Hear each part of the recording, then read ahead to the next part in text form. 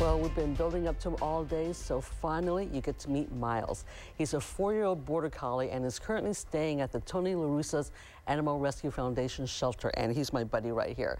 And Miles brought along Alice Tong with him. She is a shelter dog trainer, and you brought Miles. Thank you very much for being here. And to Miles, he is a wonderful doggy. He's my good friend, huh? So what is Miles' story? He's a beautiful dog. Yeah, so we rescued Miles um, from a shelter in the Central Valley. Mm -hmm. And he, like you said, is four years old. And being a border collie, he's really intelligent. He's very athletic. Um, you know, he's a star at things like agility and um, obedience and tricks. And in addition, he can do this. You know, he can chill out at mm -hmm. the mm-hmm. same time. So he's a really um, wonderful dog. I mean, when you meet him, you can tell that he's very alert. Yes. You know, and you can also tell that he's in good shape and he's very active. Yeah. So is it difficult to find a family for such an intelligent, active young dog?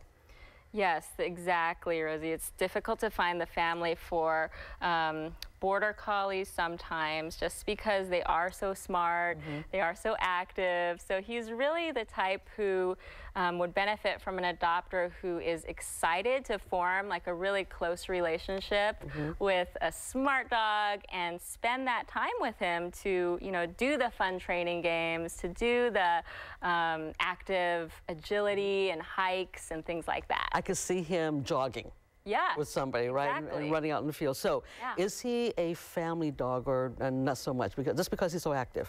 Yeah, that's a great question. Mm -hmm. So um, a lot of times with border collies, I mean, they've been bred for hundreds of years to herd. Like that's their thing. So we recommend that he go to a house with like teens or adults. I think he'd be really successful. Right. And instead of like small children or cats or other dogs, because his mm -hmm. herding instinct might kick in. Okay. So, he wants to be yeah. a star. So yeah. we have to let people know that Miles has been at the shelter for a while. It's one yeah. of the your longer residents, right? So what's his, his situation? Is he foster being foster cared for at the moment?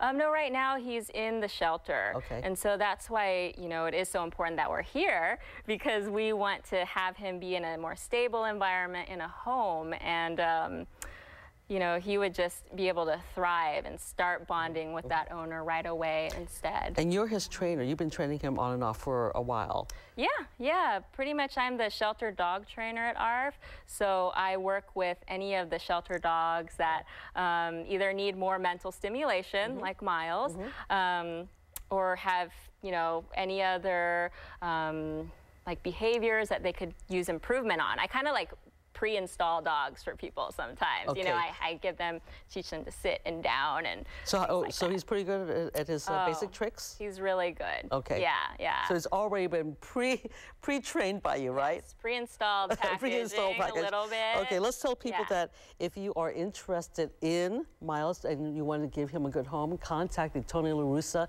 Animal Rescue Foundation. Now, they're in Walnut Creek at 2890 Mitchell Drive. That's 2890 Mitchell Drive in Walnut Creek. Visit their website at www.arf.net, A-R-F.net.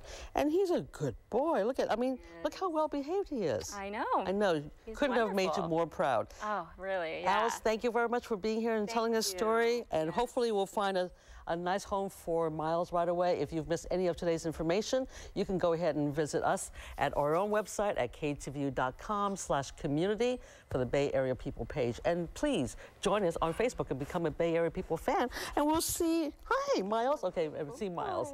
All right, I think that's all the time we've